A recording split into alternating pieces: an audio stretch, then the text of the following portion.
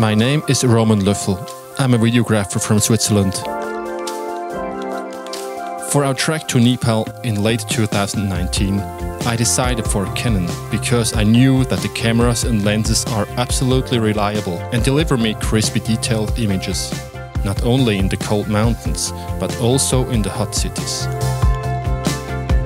Because of its technical features and the small size and weight, my choice fell on the EOS R. And, as expected, I was definitely not disappointed by the result.